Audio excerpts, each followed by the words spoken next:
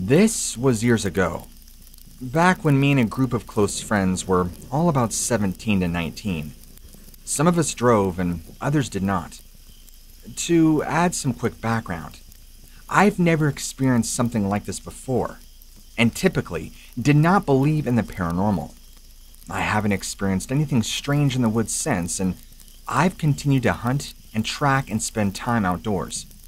I have no explanation for the events that would occur on this night. On an August evening, a group of friends and I were sleeping in a small cabin out in the woods. The cabin was very old and run down, but was the only shelter from the weather.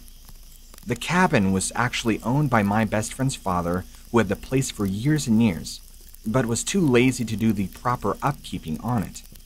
Sure, it did the job, but it desperately needed some much love and TLC. The night started out like any other. We were sitting around the fire and telling stories. I can still remember the feeling of the fire. It was so warm and comforting. I thought nothing of it at the time, though. Anyway, we all go inside shortly thereafter, and around 9 p.m., the group of us went to bed. We were due to go scouting for good spots for deer stands the next day and really wanted to get a good night of sleep. We were all very tired, so nobody was alarmed at the fact that we all went to sleep at the same time. After all, the drive up here was three hours, and I'm sure you know just how taxing long car rides can be mentally. Then, we didn't sleep so peacefully after that. One hour later, something had happened. I was awoken by a loud thud coming from the kitchen, uh, followed by a scream. I immediately jumped from my bed and ran toward the kitchen. The rest of the group did the same as we were all awakened and terrified as what was now happening. Whatever this was. My best friend and his father were in the kitchen, and both of them looked like they were terrified, staring wildly out the door. Sometimes my friend's father would drop early in the morning, and crash out in the main room, so it wasn't a surprise to see him here. We all asked both of them what was wrong and why they were screaming. Soon after, I heard, no, we heard the sound of something coming from the roof. All of us in unison turn our attention to the roof, and we can hear something very large walking across the cabin roof. Then, it, whatever it was, let out this terrifying screech and I remember the exact sound as it was like a howl screeching, only ten times louder. The screech was so loud and piercing, it hurt my ears, and I remember I had to cover them with my hands because it was painstaking. The screech was also very deep in pitch and sounded like you took an owl and were choking the life out of it to get that noise. It was horrible. I can remember just looking at my friends and my friend's father and we all had the same face of terror. Somebody says, What the hell is that? While somebody else asked, Is that a Bigfoot? Then, the screeching stopped, and we heard this loud thud, dropping from the roof, hitting the ground on the side of the cabin. It sounded like whatever weighed about 500 pounds dropped to the ground. It was heavy. But the screech continued on for another minute. And then it was silent. I remember having to force myself to leave the safety of the kitchen and walk out into the main foyer. I remember the cold and the moonlight shining in through the windows of the cabin. I remember the cold feeling in my body. Picture this be inside the middle of a horror movie and just try to imagine how that feels. I think I could speak for all of us when we were overcome with dread and fear after it went completely silent, my friend's dad opens the front door and shines his light out to look. And you could hear the night outside was so quiet. There was no crickets, no noise, no nothing. And keep in mind, this was in late summer. The forest is usually pretty alive at night. Crickets and sounds of nightlife. It was incredibly eerie, and we all had this lingering feeling like something really bad was going to happen. One of our friends, maybe in a moment of craziness or what suggested we all go outside together to find the source of that noise. And when I think most of us screamed at him, Are you crazy? I mean, even my friend's dad had a very concerned look on his face. He kept pacing back and forth, just saying, This isn't good. No, no, no, th- this isn't good. Trying his best to keep us calm and in the cabin. He told us we all need to wait it out until morning, and we're going to have to cancel our hunting trip.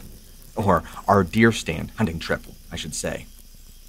I don't know if he was more scared than we were, but his reaction was to force us to stay in the cabin until morning light. One of the friends in the group, maybe the craziest of all of us, decided that he was going to bravely go outside and look around in the dark to try and find the source of that noise. Apparently, he was convinced that this was nonsense, and he was going to prove it. He had one of those high lumen flashlights. I tried. We all tried. We begged him not to go, but he was having none of it. So he frantically runs out the cabin like a madman, thinking he's going to be the Indiana Jones and be a hero and prove to us that it was nothing. Well, less than five minutes, he comes running back in the cabin, slamming the door shut, and he's screaming and pale as a ghost.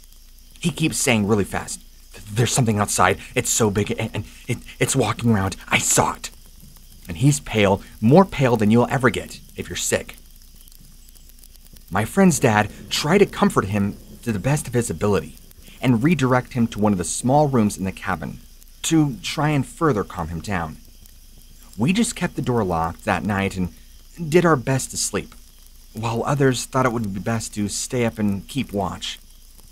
The rest of the night wasn't as eventful, but me, among a couple others who decided to stay up, kept hearing something really big walking around the cabin out in the dark. We were all too terrified to even dare shine our flashlights out there at whatever it was walking around. It honestly reminded me of the film Jeepers Creepers, honestly. It crept me out. I have no idea how many other friends even managed to get any sleep, but somehow they pulled it off. My friend's dad was among us who stayed up all night and was with me to help keep watch and make sure that we were all safe. Now, as soon as about 5 a.m. hits and it was light enough, we all promptly grab our stuff and, without much conversation at all, loaded up our car and off we went. We also woke the ones who were asleep, so don't worry, we didn't leave them behind. But we didn't want to waste any unnecessary time in that cabin more than we had to. This is where things get creepy, as if they aren't already. My friend's dad drove back in his car, and we drove and followed him. He told us that he would meet us all back at their house, since that's where we all met up the day before to load up and go. The three hours plus back seemed like a blur of time. Thoughts of the previous night would not stop replaying in my mind.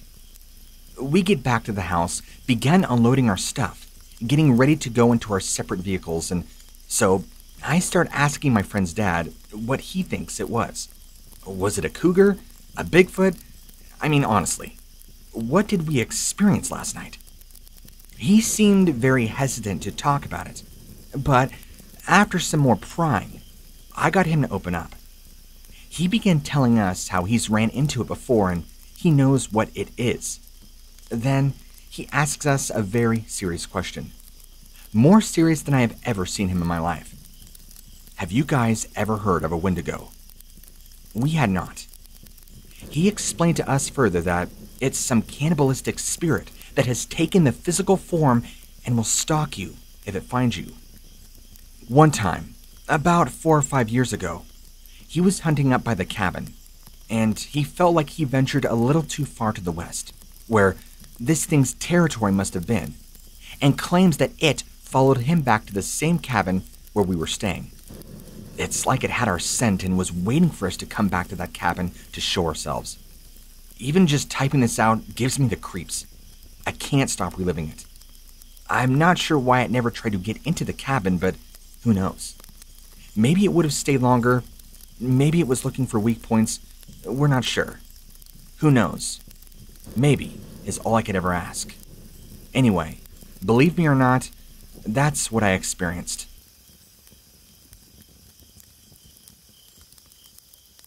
It happened in May of 2008.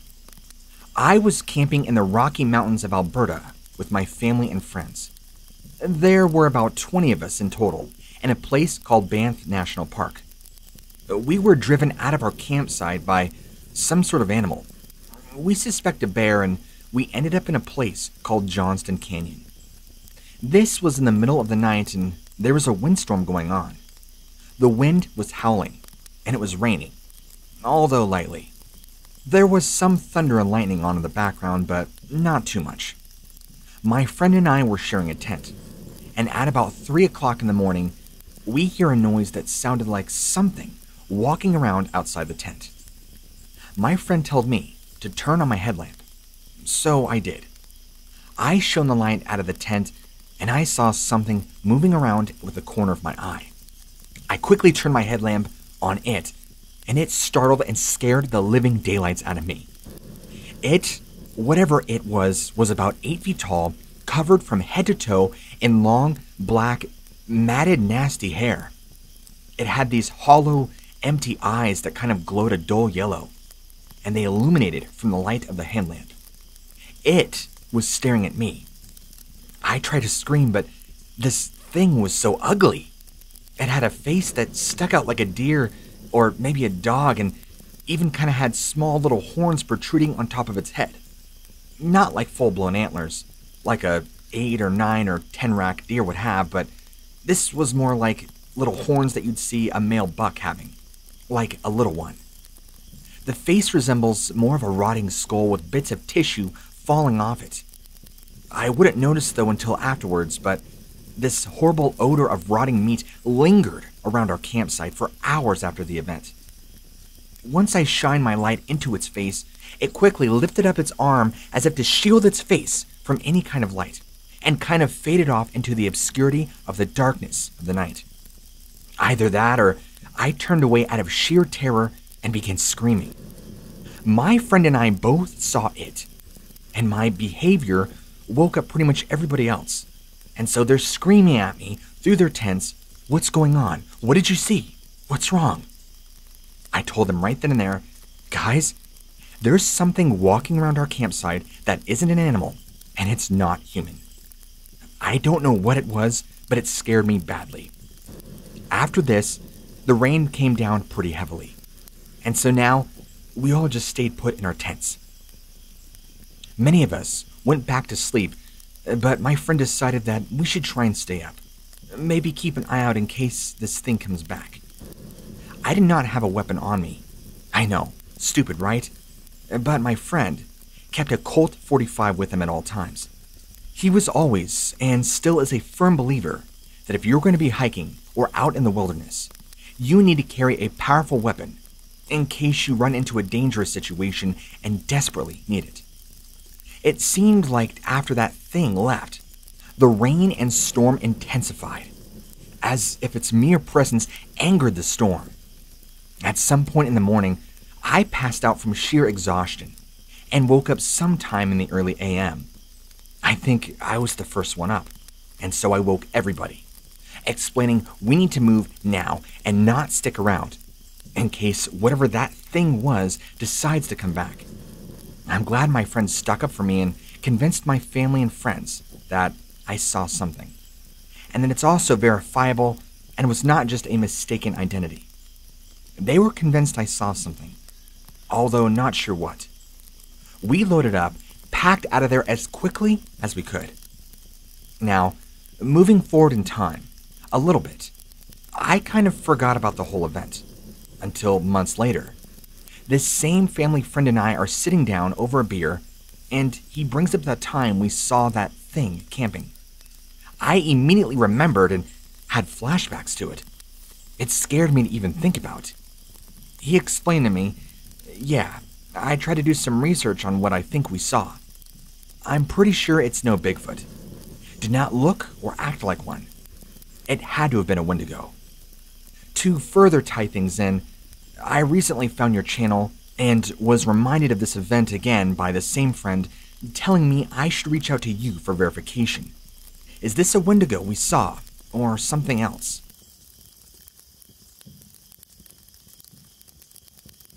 Me and my brother were hunting back in the foothills of Ohio when we found ourselves in a rather large, small cave. Driven by curiosity, we were no seasoned spelunkers, nor did we have the proper equipment to safely explore deeper. But we didn't care. We were young, on a thrill ride mission. So, let me explain to you how the cave looked. We were on a steep incline down a bunch of rocks, down to this cave opening, which was very large, but kind of bled into a smaller tunnel, which is why I say it was a small, large cave. It had a strange smell emanating from the cave.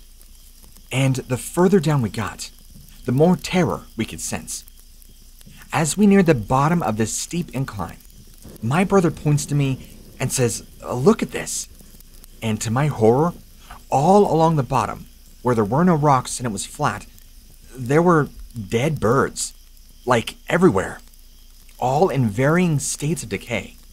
Some freshly dead, some completely rotted and skeletal, while others were in the process somewhere in between of rotting. You can just imagine the smell was just lovely. As we're trying to put together the pieces, why are there so many dead birds down here? It doesn't look like anything killed them. It looks like they just fell out of the sky and died here. We get this really bad feeling, like something is watching us from inside this cave. We should not continue onward. So we immediately turn around and start making our way back up. And as we do, the feeling does not lessen. It gets stronger and stronger. And so now we're moving faster and faster. And we get up the incline and we don't dare look back until we get well out of the opening or the mouth of the cave. We get back up to the top of this incline, and we both sense something dangerous is down there. We can both know it, we both feel it, and we're spooked. We're experienced outdoorsmen and woodsmen, so we knew our way around. We're not amateurs. But we felt and know something was watching us. We should have never went down there. We turn around to look back into the cave, and as we do, this enormous, hulking shadow appears in the opening. We both say to each other at the same time, What the hell is that? As we watched in amazement, this humanoid shadow seemed to stretch and grow its arms and head reaching out. Then it stops. It stands still at the opening, its body still hidden in the darkness. It's completely motionless and silent. We feel its body watching us. Then it starts to make a sound. It's a haunting, long, deep howl. It's guttural and coarse, and it carries deep into the air. It's a low, moaning growl like a wild animal would make and it gets louder and louder until it's louder than our own voices, just like we were talking. It's so loud now that it's echoing off the mountainside, bouncing across the hills. It's the most terrifying howl I've ever heard. It's like a wailing howl of pure desperation and hunger. There's something about it that's just so compelling and so very wrong. I can't even begin to describe how it sounded. It's something you have to hear for yourself. As it's echoing out this horrendous howl, me and my brother don't need any more time to decide that we need to get as far away from here as humanly possible. Let's just say we cut our day short, and we still talk about that day even now. It was hands down the scariest thing I've ever dealt with while in the thick of the woods.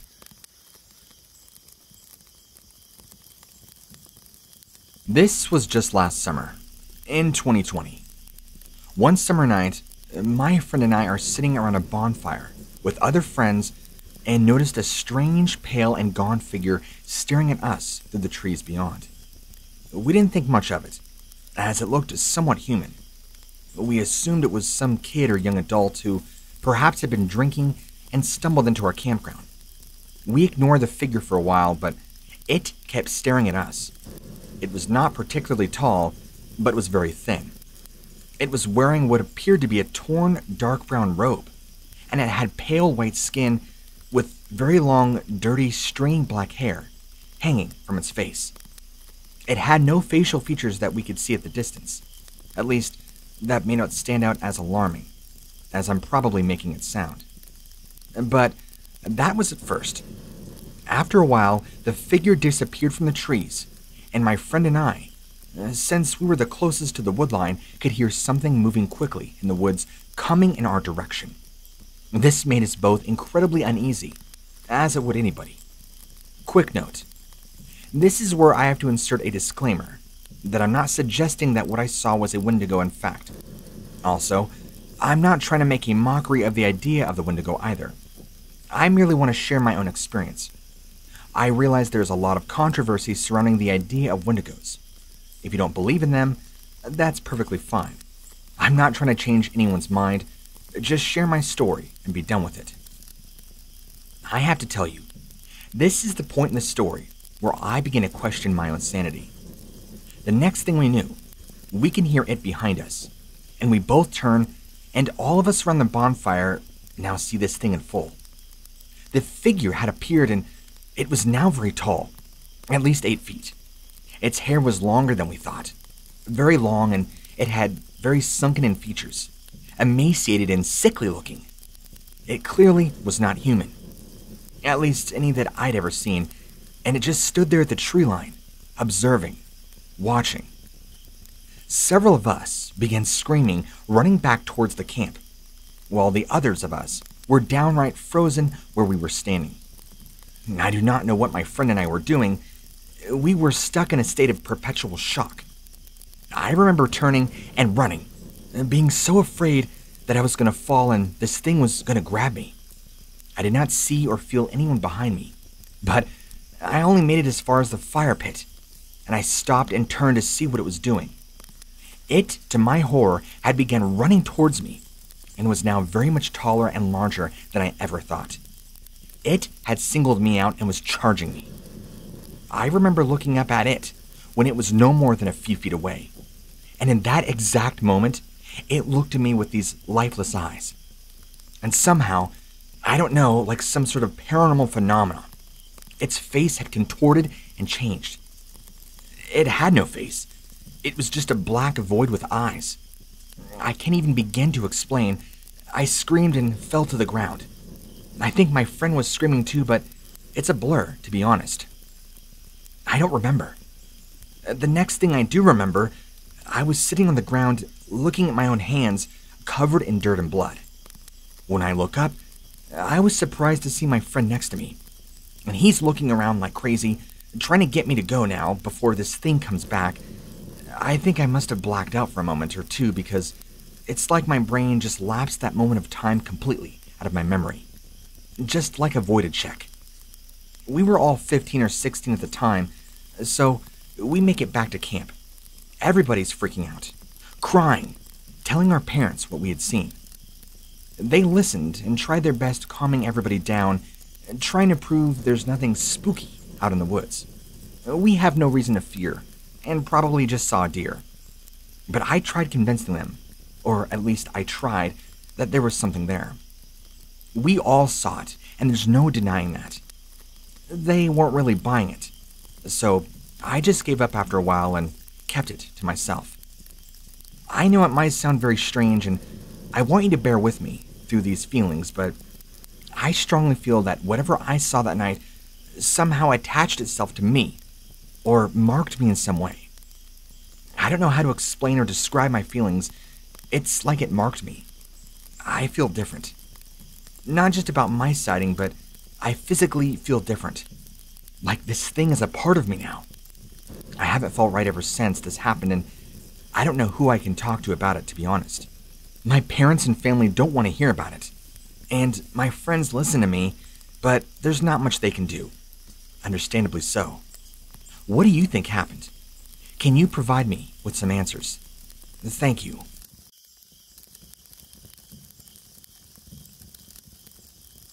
So, to give context, I didn't believe in wendigos or anything supernatural like that growing up, due to my upbringing as a Jehovah's Witness. I didn't scare easily, save especially when it came to dark, until that one morning. I was about 10 when my parents wanted me to visit my uncle for a couple of weeks in the winter and help him around his property. I, of course, complied, just moments after the promise of otter pops and chilling out with my uncle. My uncle's house was wedged between Madras and Warm Springs, and he had a couple of neighbors just within earshot of the property. So it wasn't entirely isolated. But I hadn't realized that I'd get stuck with the chore of throwing a couple of flakes of hay to his horses every morning after the first couple days. And so by morning, it was more or less a bit before six, and it was very dark. So, the fifth morning, I came out to fling hay over the fences, and I get spooked by the sound of geese flopping about. I had to take a quick pause and gather myself as I continued to distribute the hay. Weirdly enough, I noticed the horses had not come any closer to munch the hay that they usually whine for.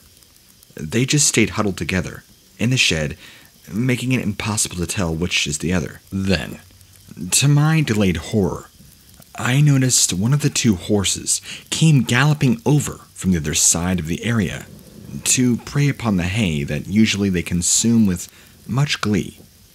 I looked back at the shed as the horses began moving together. It didn't feel any way natural to see two horses moving so forcibly like that. It was a good enough reason to book it out of there already. But me and my dense skull had already decided to throw the last two flakes before booking it back to the house. Then, the frozen morning dew, being crushed inside the pen, had already caught my gaze, and I felt like my heart had stopped. I had witnessed the two horses huddled together, twisting in such a way that they were sprinting as one thing towards me, and before I knew it, my legs were now making a full sprint to the back door of the house. I kept hearing the sounds of not broncos galloping, but the thumping of hands or feet, crushing the frozen cheatgrass. I'd like to know what you guys think, and what this could have been. I mean, this may have been something I've never dealt with before.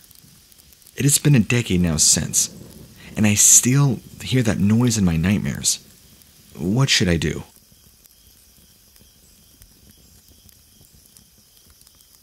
I was seven years old, which is not too long ago. I had a habit of talking to myself while walking around outside. In fact, I could spend all day outside, or even stay outside all night, without ever getting scared or anything, until this one day. I was walking outside doing my everyday thing. The entire property was covered in woodlands surrounding the house and the long driveway that leads to the road. Nothing but giant woods, actually. And the woods were so big, you can go to the top of the driveway, look at the overview of the woods, just extending miles and miles out. When I was going to the side of the house to the door that leads underneath the house, I heard walking and crying. So naturally, I walked over to where it was, shining my flashlight at the noises, and I wish I would have immediately ran, hearing those noises, then looking at the thing. What I saw was easily the most terrifying thing I've ever seen in my life. The thing was a bluish pale with a greenish white glowing eyes. It was as tall as a doorway, the skin stretching so tight over the thing that I could see the veins and bones. The hands were the size of a dinner plate, and the fingers very bony and long. Its face was behind a bush, so I couldn't see it well, but I could make out a little. It began moving its head around, trying to look at me. The way it moved around unsettled me so bad, so I just stood still in fear, trying to process what was looking at me. It stopped moving, and it crouched down like a frog, getting ready to hop. The face of this thing is what unsettled me the most. Its face had an angry, I mean really angry expression, and the teeth were sharp. It had more teeth than I can honestly count. Long, sharp teeth, big, bulging, glowing eyes, angry expression, and no nose. Just two small holes It was the perfect combination of a face, of a creature you should never mess with. I screamed so loud it was kind of scared by me, but still seemed interested in what I thought was it wanting to disembowel me. I ran to the back porch, which was pretty far away, but I was determined. I ran faster than normal, and I was already out of breath. But having a very sore cramp is way more better than being torn apart. I ran onto the back porch, busting through the door, slamming it shut. The first thing I did was lock it, run to my room, cry, and cower under my bed, staying up all night, and never going outside again at night after that. Look, I've never seen the thing ever again, but I can't go outside alone in the day. But at night, no one unless the entire military guarding the perimeter would make me do that. My parents did not buy my story. But my brother? Well, he's crazy when a subject comes to Wendigos, and he believes me. Honestly, I don't know if it's a crawler or a Wendigo or what. Please, help me. Help me understand what I saw.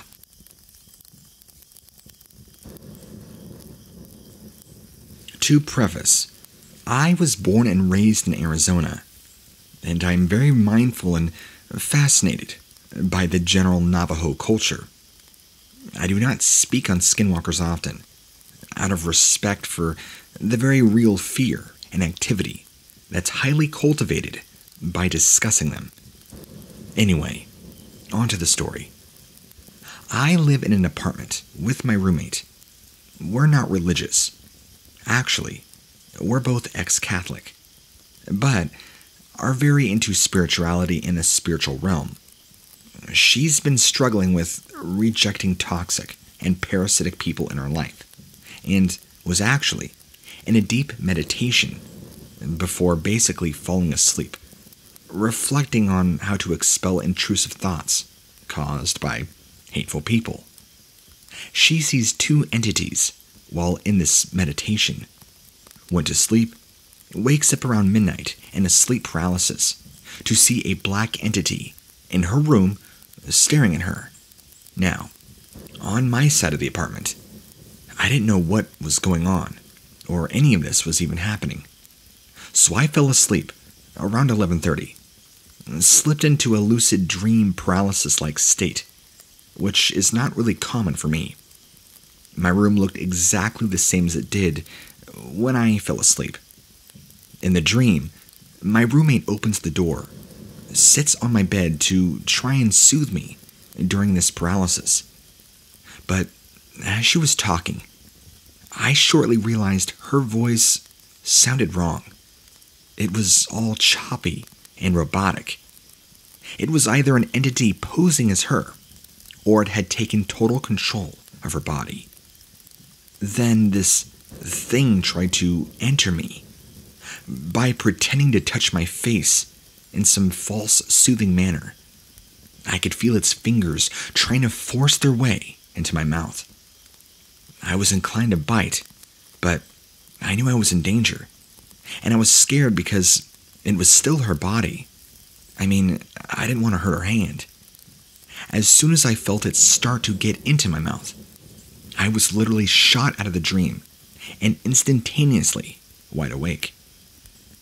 We think the pervasive thoughts she's been experiencing for so long from toxic situations was actually cast out of her and looking for a new host. But I wouldn't accept it because of how in tune I am with her and just a general growth in confidence and awareness. Look, I know this seems crazy, but this could have been some other type of entity. I'm not sure. After much reflecting, I felt like what everybody else describes as skinwalkers, but it did seem slightly less sinister. I don't know. Almost a weak attempt at imitating my roommate to take some kind of life force from me.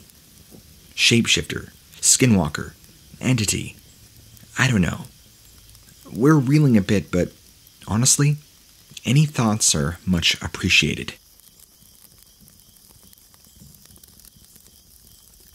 I'm 37, 36 at the time of this encounter, and have always been interested in things like the paranormal. I've actually had a couple of encounters and experiences that don't quite fit into the shapeshifter skinwalker bubble, so I'll talk about those elsewhere. I would just like to backtrack for a moment and emphasize that, quote unquote, interested in the paranormal does not mean an outright believer. I mean, I'm certainly open to it, but more often than not, I'll enter a situation with a very agnostic attitude and instantly develop one of skepticism once I begin assessing and getting a chance to evaluate everything. That being said, I do love a good mystery, and don't think for a moment that people who believe in such things are lying or possibly stupid. We all have our reasons for believing what we do. I tried sending this through voicemail to Monsters Among Us a while ago, but I don't think it ever got aired. Anyway, enough backstory. Let's get to the story. I was working one and a half jobs in 2019. The half job was an on call assistant private investigator, and my main full time job was a security guard. We mainly did patrols for apartments and a small handful of residential contracts. This particular event took place at 19th Avenue and Camelback, which, if you're from Phoenix, you know is a pretty shady part of town. The apartments I patrolled were just south of there. They were predominantly low income tenants, half of whom who were refugees all over the globe. The complex was well known in the area for things like theft, violence, break ins, drug dealing, gang banging, and so on. I liked patrolling it because I felt like I was helping people who genuinely needed it, and the vast majority of them were very grateful that I was there. I got to know many of them very well, and so we would often talk and shoot the breeze before I got any chance to start making my rounds again. One of the people I would talk to was an older native guy who I won't name for obvious reasons. Often, he was on his balcony, getting drunk and high. Things which we were supposed to report. But whatever. As long as you weren't causing any trouble or making too much disturbance, I'm not saying anything. I would usually say hi. He would say hi to me. And I arrived on post. We'd talk for a while. Then I'd begin my shift. You know, I never had any real issues with the guy.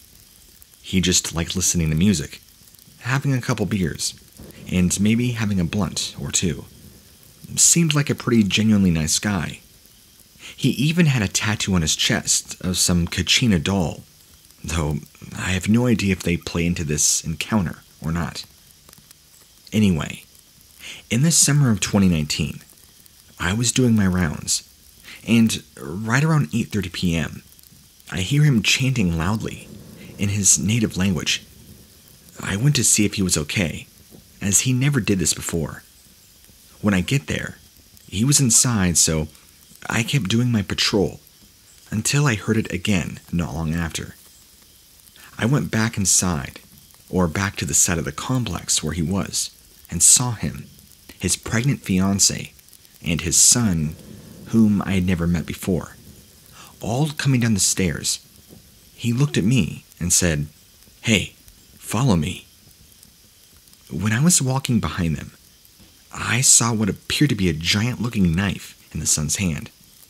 But when we get to the parking lot, I could see it was just a very large feather, and his father had two smaller ones, maybe from a juvenile eagle. When we entered the parking lot, I saw a native woman standing there who I had kicked out earlier for being too loud and yelling at a guy who was the roommate of the native tenant. I'd seen him before and knew he lived there, but didn't know he was his roommate. You know, I don't remember what they were arguing about, at least this time. But she had her two sons with her a 10 year old boy and a six month old baby in a stroller. They were going back and forth with each other, and the father and son began taking the feathers, rubbing them on the children's faces, while whispering in their language. The mother begins flipping out. Don't you put that on my babies!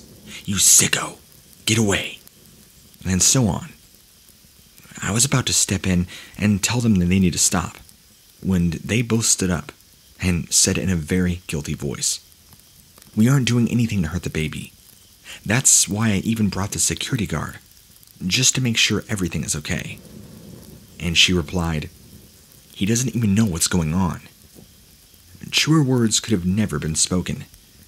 So she then says this If you guys aren't doing anything wrong, then do it on your pregnant fiance's belly. The dad just says, Okay, turns to his son to whisper something in his ear. Now the kid's turn to flip out, and he yells, You're still evil. I'm half Christian, and I'm not doing this evil stuff, etc., etc., and takes off running. The dad and his fiancee yelled at him to come back. Then he takes off after him. I'm stuck there, trying to get the lady with the kids to leave, now for their own safety.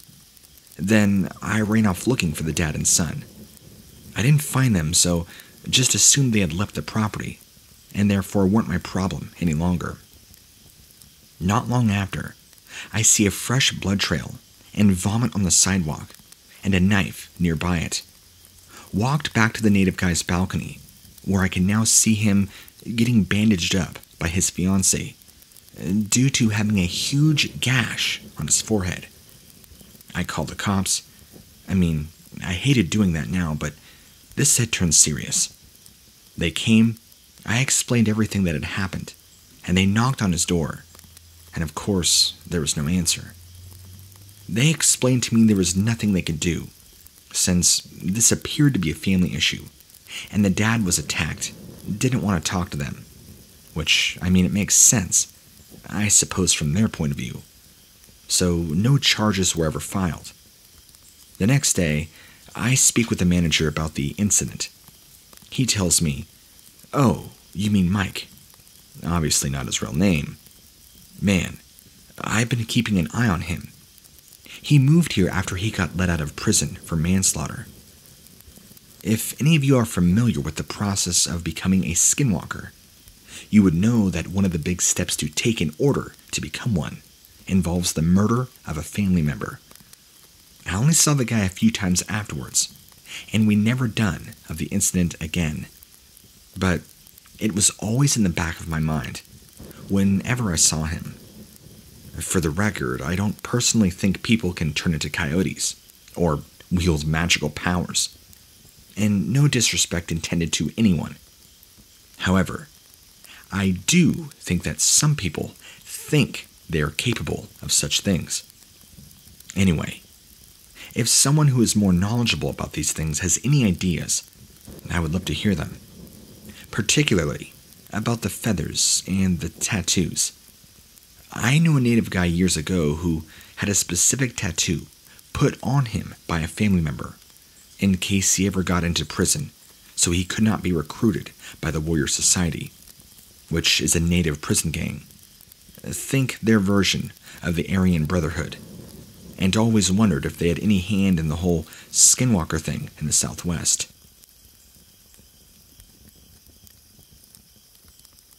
I was relaxing in my bedroom, playing some video games, when I hear this howling outside my window. This is fairly average for me because I live in a bit of a secluded area. That's near a city, but far enough away that wild animals are around me. But what made this time different was the howling seemed a bit distorted, if that makes sense. It just sounded weird. That was enough for me to look out my window. At first, I see nothing, but when I turn on the lights outside, automatically turned on if I press a button on my phone, I see a wolf or coyote standing on its back legs with its fronts in the air. I watched for a few moments while this thing uh, kind of walked around a bit and howled some more. At this point, I freak out, lock all the doors in the house, and called my mom and dad, who were out of the house that particular night, shopping or something. So they immediately come home, and I explain what had happened. They call the police and report a potential burglar or stalker. When they hang up, I try and convince them that that's what it actually was. But of course, in the end, they don't end up believing me. So, my question for you is what do skinwalkers generally look like?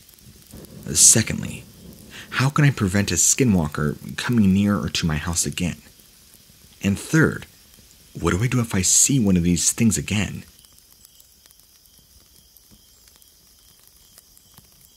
This took place a few years ago. I was in my late teens, driving home at around 10 p.m. This was a typical shift for me, and I was not too tired. I know what I saw. I lived somewhat out in the country, far enough to be on septic, close enough to be on the county's water system. I mean, it wasn't irregular to see wildlife at night, like elk, barn cats, deer, even occasionally dogs. I'd been living here for a few years at this point, and during this time, one particular neighbor had this really bad habit of his dog running free on the side of the road. So, I love animals. I would always pull over, call the number on his collar, and get him back to his rightful owner. So, anyway, I'm driving home, nearly one block and three turns from my house. I see this figure out of the corner of my eye. It looks like a medium sized dog. I roll down my window, turn my music down, and start calling out to it as I would a dog. Hey, come here, sweetie. Come here, baby. It seemed very shy, as it refused to look at me, and its body language was very timid. I kept trying to speak sweetly to it, let it know that I was in no way a threat. It looked a little skinny, seemed to have short gray hair. I really wanted to see if I could help it. Maybe find its owner, or get it somewhere safe and fed. It finally responds to my sweet talking, turns to face me, and my stomach drops. This is gonna sound crazy, but it had a human face. The best way I could describe it is like a Teletubby. You know, I really wish there was another way to describe it, for the sake of my credibility. But it had no distinctive features, and its head was still shaped like a dog. It did not make any faces, any noises, and it did not speak either. I was so surprised that I screamed and I sped off. I was so scared too because my house had a gate that I had to open, and I didn't know if it was following me or anything. I didn't look back, and it didn't appear to chase after me as I was speeding off. I feel bad about it to this day, and I wish I didn't react the way I did. But I didn't know if I was in danger. Seeing something like that, something that you just can't explain. I don't know. I really can't stress enough how it did not make any facial expressions noises or speech, anything. I was the one going out of my way to bug it, and I was bluntly rude to it. I haven't seen it since. I wish I could change how I reacted, and I really do wonder about that all the time. So, I did some internet scavenging afterwards. I haven't been able to find any experiences like it, which now makes me feel even more nuts. Maybe it was something slightly different than a skinwalker, but this is the closest lore of it that I know of.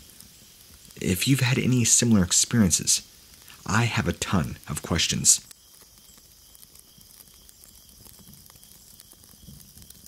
Circa 2012, I was in combat training with the Marine Corps in Southern California on fire watch one night, roughly 2 a.m with two Navajo guys. We were on the subject of skinwalkers, telling stories that our grandparents or others had told us. We were all generally feeling a little creeped out. just from the atmosphere and the stories.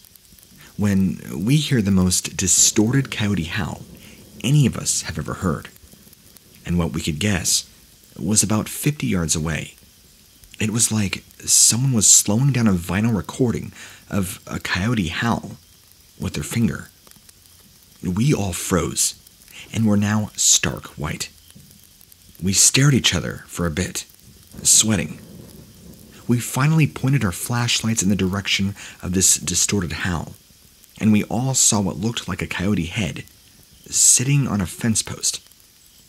So here we are, just staring at it, in the shaky lights, absolutely silent.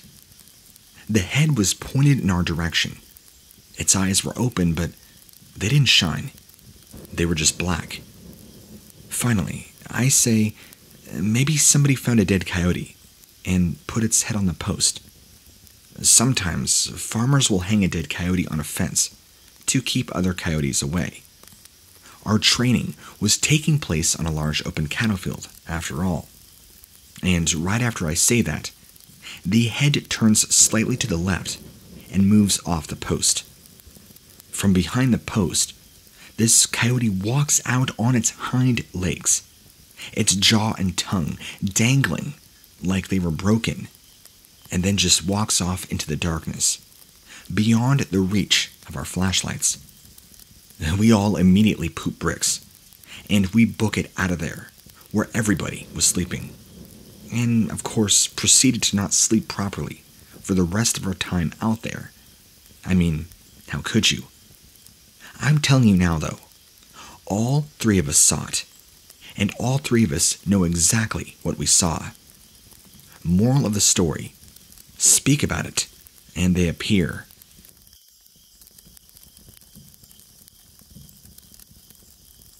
I don't really know how to start this. It's my first one. At the time of writing this, I'm living in western Pennsylvania, a little south of Pittsburgh. I was in Boy Scouts for most of my life, so I feel very comfortable in the woods, and I often go camping. Upon hearing Governor Wolf's school closure plan, I decided that it was time for some cold weather camping. It was March, it wasn't that cold, but it did drop to 40 degrees at night. And the people who I went were not really avid campers. If you're from Pittsburgh, you may know the Boggs campsite on the Montour Trail. Well, that's where we went. They, of course, only brought weed and alcohol, did not bring any sleeping bags, blankets, or pillows. So, naturally, I assumed they were going to have sit by a fire all night. It was light when we first got there, and the fire pit was still smoldering. Very cool. We used the coals from the previous camper's fire to light ours. Immediately, I knew that I would have to provide wood for the fire until I went to bed. They passed out beers at around 3 p.m. The times are going to be a bit dodgy. I was not near my phone after having two to three. I just honestly wanted dinner. Now, that they did for me. They made ramen noodles and cheese, which was amazing, and burgers over the fire. By this time, it would have been close to 5 p.m. It began to rain just a little bit, as was forecasted. So we took shelter in the lean to shelter that was on site, and occasionally one of them would throw some sticks on the fire. Sticks were all they seemed to be able to find, even though I brought two saws and an axe. I would cut up some logs. By the time the rain stopped, all four of us smoked and were sitting around the fire. I was light out, so we'll call it seven. After a while of just hanging around, they asked if I had any blankets. I always have blankets. Nothing special, but we've had some pretty bad snowstorms in the past, and a couple of scratchy car blankets are always useful. They each got a blanket, except for R, as we'll call him, who got my summer sleeping bag that I brought just in case. By now, it was dark, around 9 or 9:30 p.m., and the fire was getting low. I start off to find some more wood because they wanted to smoke more. Now, it's important to know that I'm 6'5 and a semi frequent user of weed, so my tolerance is pretty high. I return with the wood and we spark up another one, a smaller one, just kind of hang out, talk, listen to music. Good times. Eventually, the fire again dies down a little bit, and again, it's my job to get more wood. Because we had been there for a while, there were people there before us. Most of the wood near the shelter was either really small or all used up. So I had to keep going farther and farther away from camp to find wood. About 12:30 a.m., close to 50 degrees, so we're all doing well. I got a flashlight, a really nice one that I use for scuba diving. That is also kind of bright, so I use it on the low setting on land. At this point, I'm far enough away from camp that my friends cannot really see me, and there's like an embankment between the Montour Trail and someone's driveway that you have to cross to get to more woods. But I'm comfortable alone because I knew what I was doing, and they could hear if I needed them. I start to hear a weird whistling sound, kind of like somebody inhaling through a snorkel, but I believe it's just the wind. The air was starting to get kind of cold, so I took back what I had and put some on the fire. Now it's 1 to 2 in the morning, around 40 degrees with some light breeze. Nothing severe. I have two long sleeve shirts and an army surplus coat that is super warm. But my friends are in windbreakers and hoodies. And oh, yeah, now it's raining. Off to get more wood. This time, I began taking into consideration that the type of wood that I would collect. There was a lot of pine, but that burns fast, which is why I had to go and collect it so often. The stretch of woods near the driveway was pretty much all pine. A few maples, but nothing big.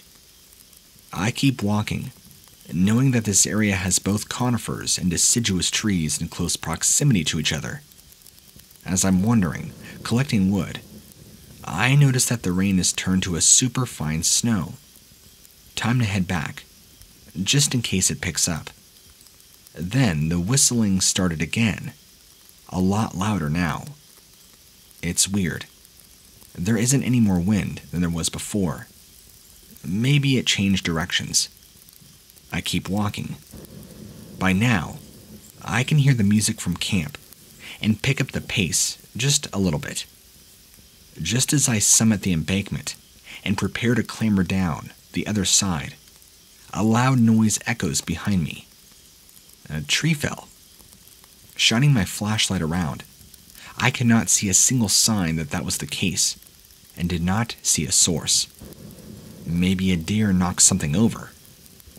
In my head, it does not matter, because I'm back at camp anyway, and I can try the marsh behind our shelter next time. Three in the morning? They were cold. The temperature now dropped to around 30 degrees, and the wind and snow had really picked up. Car blankets helped the boys a little bit, but they were not going to be able to sleep in a tent that I brought. Not without freezing. Except for R, who slept like a rock all night after about 3:30. We decided to finish off our smoke and beer and a good talking. 4:30 a.m. I'm about ready for bed at this point. I'm not too inebriated at all, but I was definitely pretty tired. I offer to go collect more wood before I retire to my zero degree sleeping bag and cot. I camp comfy when I don't have to carry it far. They said they would join me. They must have been cold. We split up, and I end up heading back to where I was before. Except this time I left my flashlight on high, and I made a bunch of noise to scare off that deer, or whatever that was there earlier. I ended up a little further away from camp than I had intended because there were only pine branches on the ground. The whistling starts again.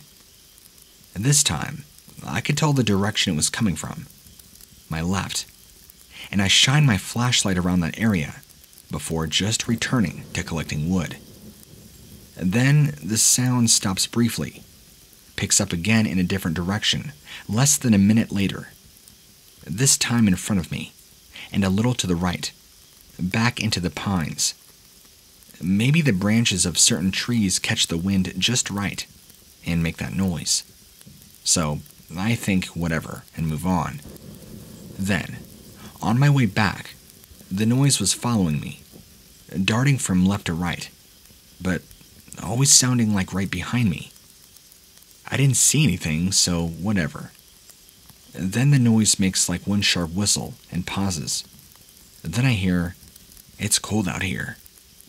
It was R, but I couldn't find him with my flashlight, so I called, Where you at? And it sounded like he turned around, because I heard a branch snap and a bit of movement. I pointed my flashlight at where the sound was coming from, and I did not see R anywhere. Maybe he's behind a bush or a tree or something. I call out again. No reply. He might be lost or something, because we weren't at camp, and he saw my flashlight moving, so he came to look. I asked again, Where are you? Nothing. And then louder. I'm gonna go back to camp. I thought he was trying to scare me. Shining my flashlight around one last time, I spot something dive into a bush about 40 feet from where I heard R turn around. I see you, big man. Grab some wood and come back. He's around six foot tall, about 250 pounds. I shine the light around for a few more seconds, then turn around again and start walking. The whistling is back. No matter what speed I moved at, it always seemed the same distance away. I decide that I just kind of sit under a tree and wait for R to pass by because he had to come back sometime. I saved battery of my flashlight, so I turned it off, closed one eye, so it would adjust faster. By now, the snow had picked up a really good bit, which is another good reason to stop, just in case R got lost. I couldn't really see far because there was a lot of cloud cover, despite being a full moon. The whistling never got closer, but it did start to move around a little bit, in a really odd circle. It would start in one spot, stop, then promptly start in another spot that was in a different direction. I realized that it had to be the wind or something, because it was moving way too fast, and moving at random. Cool. Now, where is R? I turn on my flashlight between whistles and call out to his name again. It's important to note here that the whistling never picked up while I looked around. It normally only stopped for a second or two, and it was super quiet. The snow was laying on the ground, and we had two to three in on the ground by now, so maybe that muffled it. Anyway, upon not hearing R, I thought that maybe I missed him, or did not hear him at all, starting to head back to camp. As I stood up and brushed the dirt off my butt, I shined the flashlight around one more time, and I was thinking in my head, I definitely heard him. After I stood up with the wood in my arms and began to walk back towards camp, I saw something move out of the corner of my eye. My flashlight, being a diving light, has a wrist mount that I was wearing, so I could use it and carry things. I turned towards and scanned the area with my flashlight. Nothing. Not even four steps more, and I saw another movement. Now the whistling was back. It's annoying. It sounds like a fat guy who just ran up the stairs. Flashlight was on low, so I can only see maybe 40 feet around me. Didn't see anything, but I knew it was time to pick up the pace.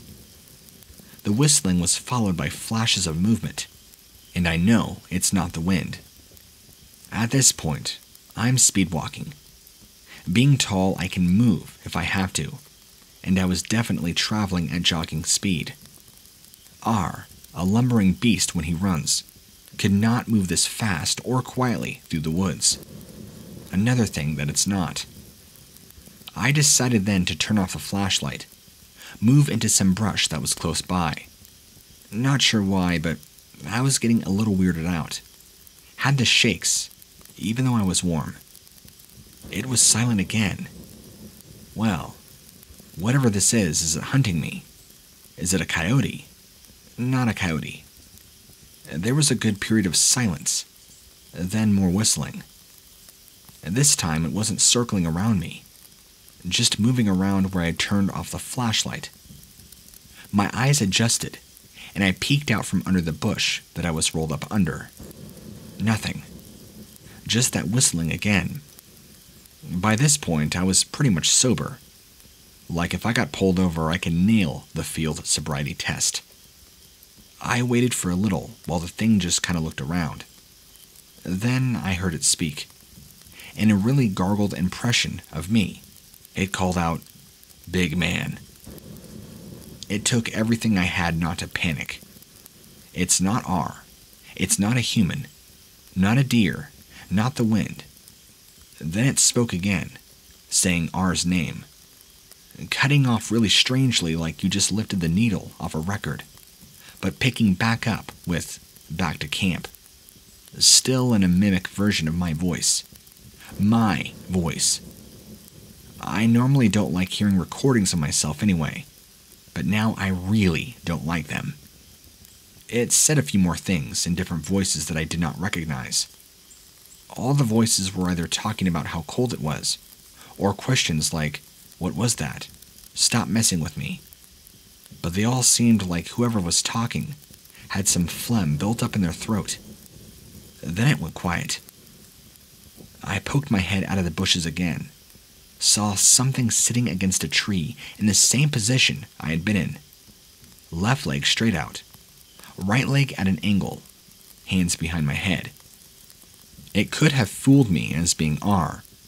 We both kind of sit the same way, except his ADHD usually makes him fidget with his hands. Okay, so who's sitting in the woods with me? I lay there, silent. Just watch. It begins to whistle. So that's where it's coming from. It moves its hand around in a fist, out in front of it, the same way that I look around with my flashlight, then begins to stand up. And it's tall. I only weigh 166, skin and bone mostly. So when I say that this thing was skinny, don't take it lightly. I could see how thin its long, spindly arms were silhouetted against the snow that coated a bush behind it. When it stood up, it was hunched over. Not sure if I was slouching when I stood up, but I certainly do slouch. It walked a few paces away from the tree and stood up the entire way. I worked with backdrops for theater productions, and the walls we use for most are around 8 feet high, and this thing would have easily been able to see over one. I'm talking by at least by a foot. It slowly peers around, no hair on its head, and its side profile showed a super disfigured skull, the jaw hanging pretty far down, and there weren't really any lips that stuck out. But it was kind of hard to tell because of how dark it was.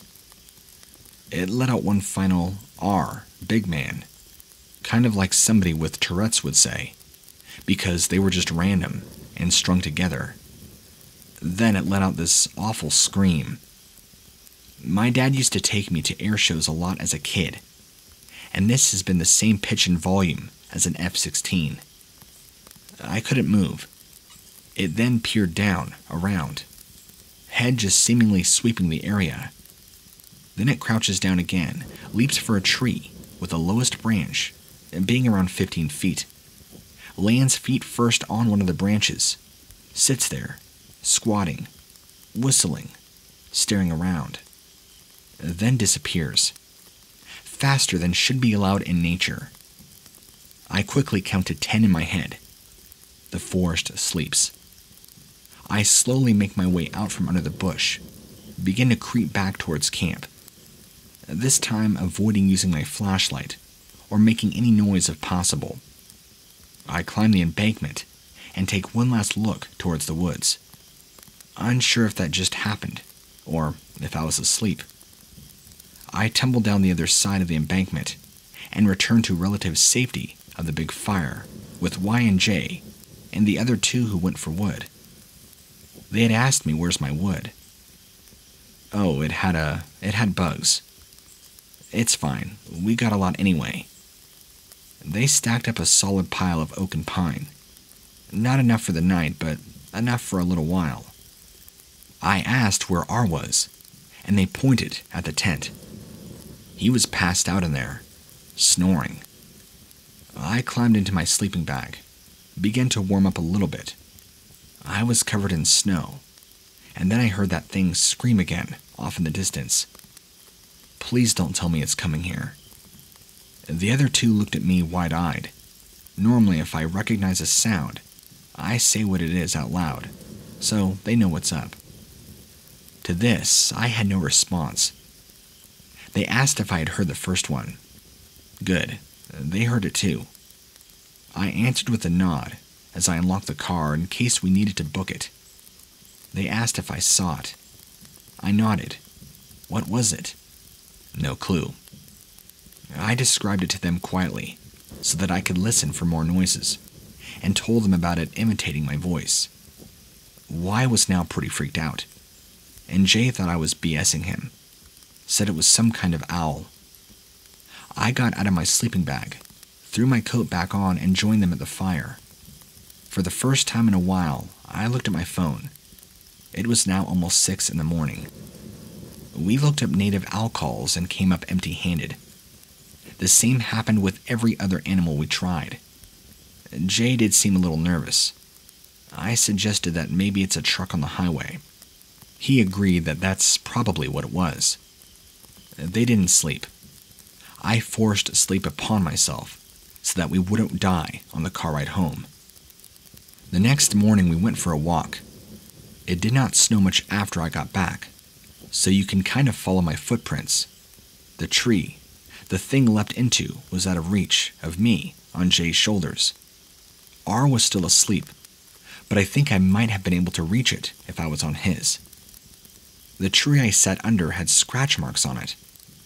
I think they're from deer shedding the velvet off their antlers, but it creeped me out nonetheless. The tree it sat under had footprints everywhere. There seemed to be no order to them. It was amazing. It looked like it had run over every square inch of that area, coming as close to the bush as I was, in two meter lengths. I don't really know much about cryptids or anything, but when I got home, I googled North American tall skinny cryptid, and the second result was from Parade. A list of cryptids. After ruling out everything else in the list, I came across a picture of the Wendigo that has antlers. Not quite, but pretty close as described. Tall and skinny and super fast. I did research. Every picture has antlers, but I can't find any evidence that, other than a few movies, it had antlers. I don't know. What I saw definitely didn't have antlers, but it matched everything else, even down to the whistling. This was kind of long, but I'd appreciate any feedback. Thanks.